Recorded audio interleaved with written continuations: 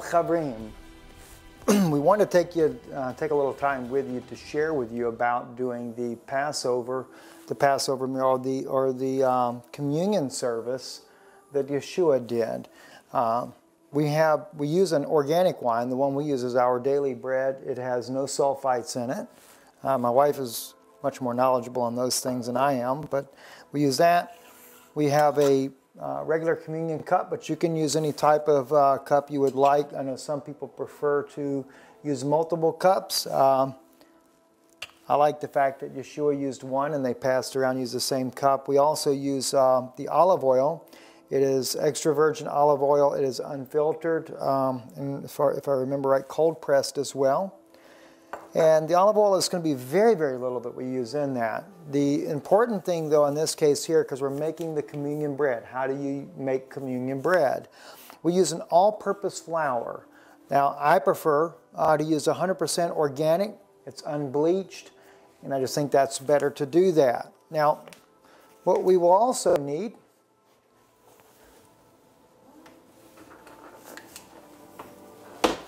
is spring water. So we're to need a little bit of water in order to be able to make the flour into um, a, little, a little dough piece there.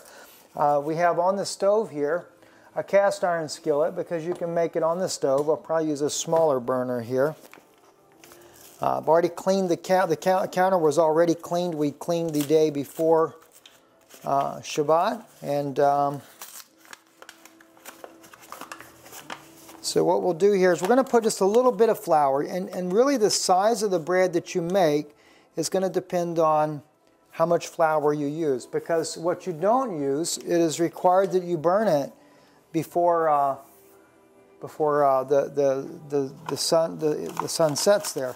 I'm also going to get my hands floured up so it doesn't stick. Okay, let's add a little bit of water, very, very little. And a little spoon here.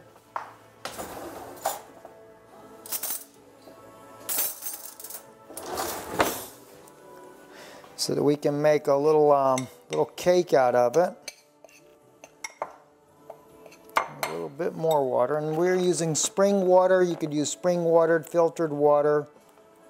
Just whatever works best for you.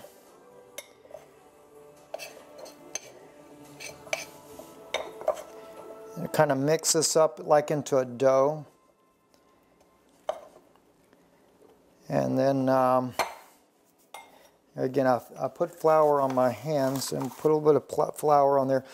You sisters are probably better at this than I am, and my wife wasn't feeling too good today, so she didn't, she's not able to be in here with us, or she'd be right here with me. Um, so I've made a small ball because um, the, those of here that will be participating in communion here, there's just a few of us here today.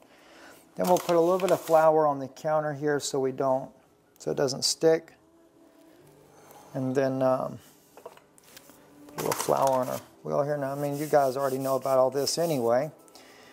And I'm going to kind of make it very thin so it'll, so it'll cook very easily. And um,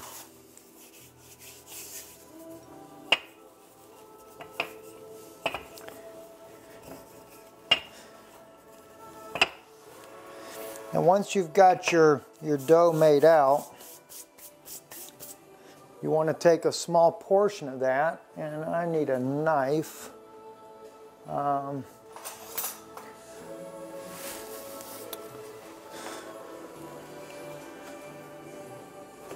I'm just going to make cut out a square out of that so that I can make it from there. Now the oil, and you don't want to use any more oil than you absolutely have to. Um, so I'm just going to put just a little tiny bit in there as all, just barely a little bit. And then I'll use a napkin here.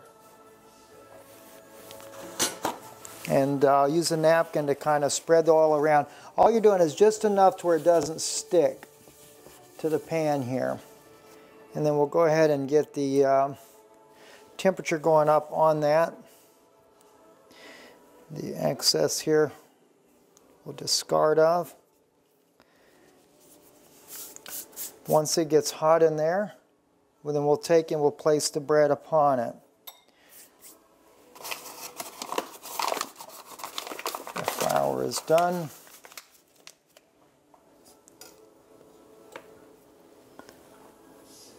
I purposely actually do not make it round. I don't want to be look like we're Catholics that worship the sun god, so I, I do not want the kosher bread to be round. Um, so I guess the shape doesn't really matter other than that, but that's just that's just me. So anyway, all right. So this will cook, and uh, you can bake it in the oven, or you can do it this way. Either way, and then once it is uh, completed there, then uh, you'll place it on a plate there, which we'll do here in just a moment. Okay, once we uh, once your bread is done, it's it, it, really you'll be surprised. It's very hard to make this bread done. It's one reason why I use a rolling pin to roll it out because you want it as thin as possible so it cooks. So you don't end up eating raw bread. Um, we place it on a, a plate. Uh, we prefer to have one dedicated unto the Lord, uh, something that we use only for this particular service in the Passover. Then you want to take uh, for your communion wine, whichever one that you've chosen to use. And there again, the wine that we use, we don't want to use it for any other purpose. Uh, so if you're, I know in the uh, Europe, the customs for drinking wine is more common and, and more prevalent than it is in America. Uh, so if you happen to be in another part of the world where you partake in wine as a regular type of thing with your meals, um, then buy a bottle of wine that is specifically for your communion service that you don't um, mix that with anything else. And once you have that, you're ready. You have your kosher bread.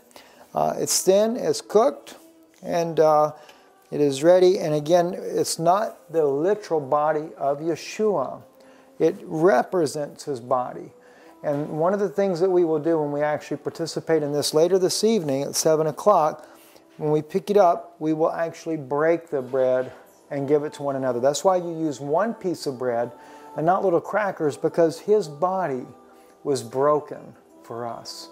And so everything we do, we try to remember the way he did it because he took the bread and he broke it and he passed it to each one of his disciples and they partook. The same thing with the wine. He supped from the cup and he passed it to his disciples and they each one supped from the cup. Um, anyway, God bless you, and I hope you enjoy the communion service this evening at 7 p.m. Again, if you want to catch us on live on live stream, all you have to do is go to our website, israelreturns.com, and scroll down the page. You'll find the link in there uh, for the live stream. If you'll notice in the bottom right hand corner of that link, there's a little thing that lets you know more about or to see more of live stream. You'll see you can click on that. That takes us to our live stream page. At the top right hand corner, you'll see a red button that says follow. You can click on that and you'll be able to get the updates when we're running live, uh, live programs and to be a part of that and join with us on live stream. I'm Stephen Ben Danoon with Danoon Institute of Biblical Research. God bless you. Shalom and Shabbat Shalom.